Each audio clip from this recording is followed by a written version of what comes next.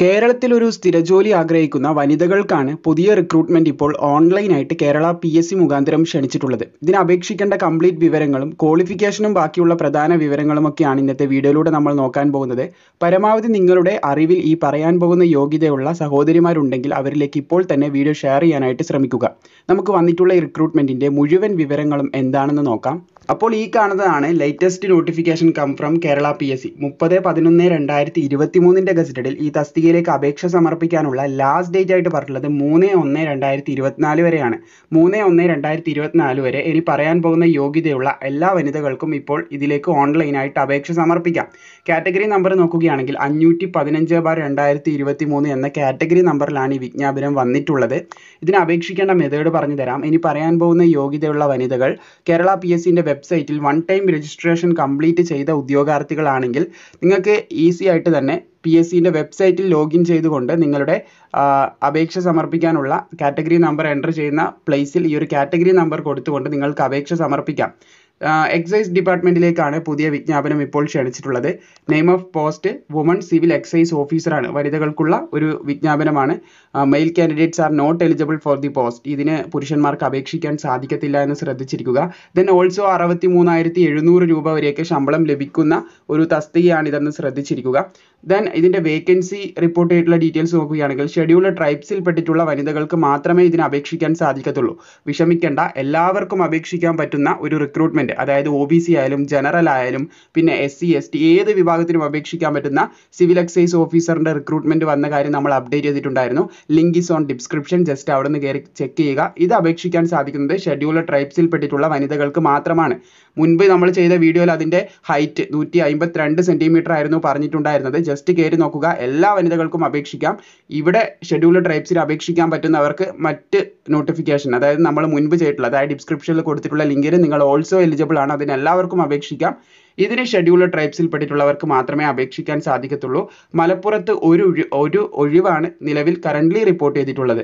Then ഇതിന്റെ method of അപ്പോയിൻമെന്റ് എന്ന് പറയുന്നത് ഇറ്റ്സ് എ ഡയറക്റ്റ് റിക്രൂട്ട്മെന്റ് നേരിട്ടിട്ടുള്ള നിയമനമാണ്. പക്ഷേ നമ്മൾ പറഞ്ഞു only from the woman candidate of scheduled tribes ആണ് പറഞ്ഞിട്ടുള്ളത്. ഷെഡ്യൂൾഡ് ട്രൈബ്സിൽ പെട്ടിട്ടുള്ള വനിതകൾക്കാണ് ഇതിന് അപേക്ഷിക്കാൻ സാധിക്കുക എന്ന് പറഞ്ഞിട്ടുണ്ട്. ദെൻ ഏജ് ക്രൈറ്റീരിയ നോക്കുകയാണെങ്കിൽ നയന്റി ടു തേർട്ടി സിക്സ് ഇയേഴ്സിന്റെ ഇടയിലുള്ള വനിതകൾക്കാണ് ഇതിന് അപേക്ഷിക്കാൻ സാധിക്കുന്നത്. പത്തൊൻപത് വയസ്സ് മുതൽ മുപ്പത്തി ആറ് വയസ്സ് വരെയുള്ളവർക്ക് അപേക്ഷിക്കാം. അറൗണ്ട് രണ്ട് ഒന്ന് ആയിരത്തി തൊള്ളായിരത്തി എൺപത്തി ഏഴിനും ഒന്ന് ഒന്ന് രണ്ടായിരത്തി നാലിനും ബോത്ത് ഡേറ്റ് ആൻഡ് ഇൻക്ലൂഡഡ് ആണ്. കൃത്യമായി പറയുകയാണെങ്കിൽ ഈ ഒരു ഡേറ്റിലും ഇതിന്റെ ഇടയിലും ജനിച്ച വനിതകൾക്ക് അപേക്ഷിക്കാൻ സാധിക്കും.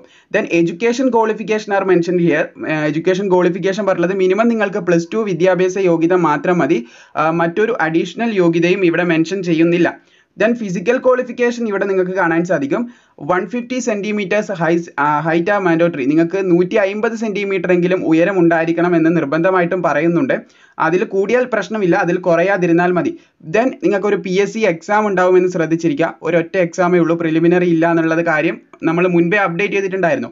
ആഫ്റ്റർ ദാറ്റ് നിങ്ങൾക്ക് ഇവിടെ കാണാൻ സാധിക്കും. ഇൻഡുറൻസ് ടെസ്റ്റ് നിങ്ങൾ അറ്റൻഡ് ചെയ്യേണ്ടതായിട്ടുണ്ട്. ഏകദേശം ടു പോയിന്റ് ഫൈവ് കിലോമീറ്റേഴ്സ് റണ്ണാണ് പറഞ്ഞിട്ടുള്ളത്. റൈസാണ് പതിനഞ്ച് മിനിറ്റിന്റെ ഉള്ളിൽ കംപ്ലീറ്റ് ചെയ്താൽ മതി.